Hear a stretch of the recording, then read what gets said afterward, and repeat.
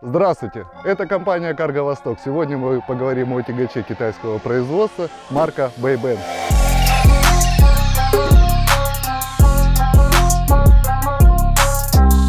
Он же в переводе с китайского как Северный Бенц. Крупнейшая китайская корпорация приобрела лицензию у Даймлера для выпуска сидельных тягачей, прежде всего для э, военных нужд. Далее э, данные тягачи выпускались для э, гражданской службы Китая, то есть это спасатели, пожарные и так далее. Давайте более подробно по нему поговорим.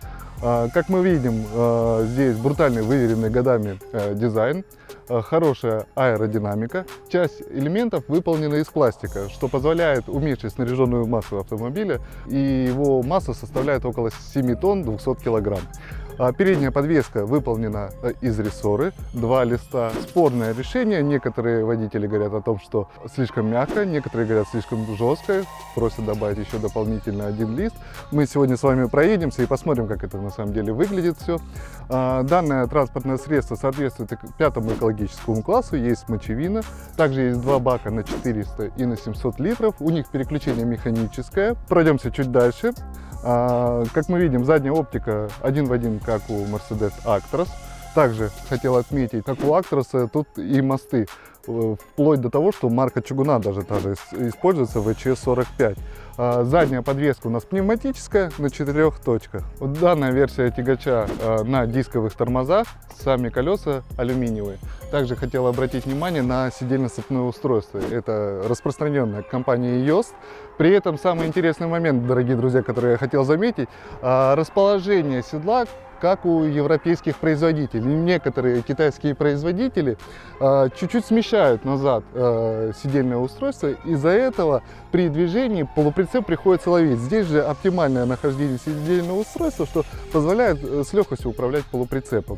Как мы видим, отсутствие заднего стекла, что говорит нам о том, что данное транспортное средство в принципе подготовлено для российской зимы. Также проведено хорошее утепление и шумоизоляция. А, в том числе а, стоят автономные отопители. Ну давайте немножко поподробнее заглянем под капот, что тут происходит. Для того, чтобы опустить кабину, нам понадобится нажать специальную кнопку в кабине, также вставить ключ зажигания и поднять капот. Давайте перейдем к пункту опускания кабины. Она электрическая и механическая. Для того, чтобы опустить кабину, необходимо сдвинуть рычаг в положение опускания ну и нажать соответствующую кнопку.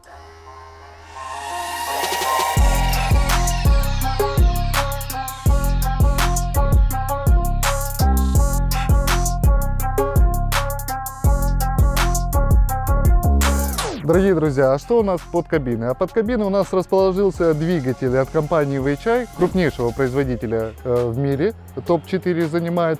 А конкретно данная модель это VP13 на 480 лошадиных сил. Работает силовая установка в паре с коробкой от компании Fastgear, 12-ступенчатая, две задние скорости.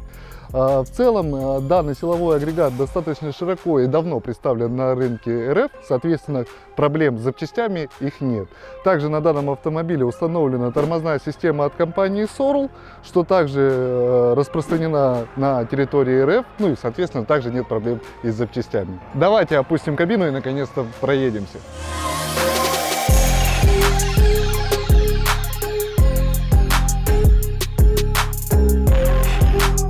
Ну что, поехали? Удобная посадка для водителя. Руль регулируется как по наклону, так и по вылету.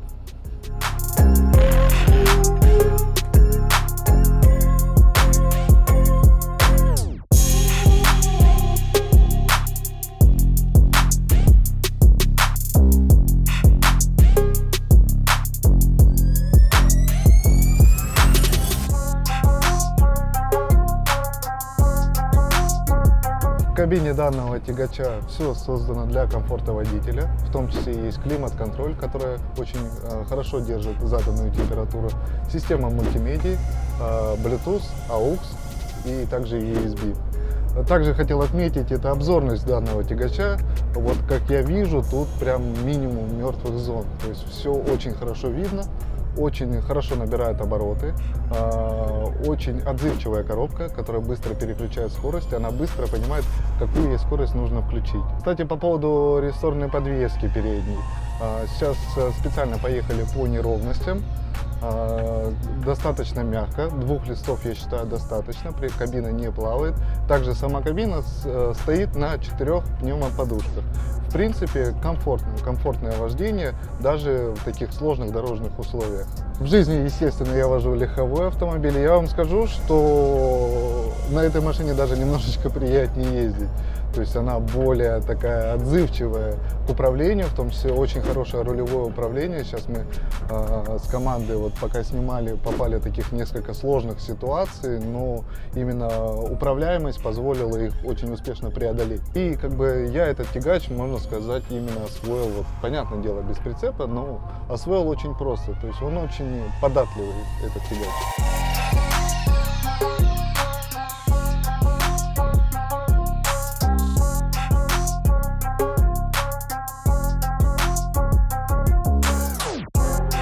Дорогие друзья, в заключение я хотел бы сказать, что данный тягач себя повел очень достойно, очень хороший тягач. Приобрести его вы можете в нашей компании Карго Восток.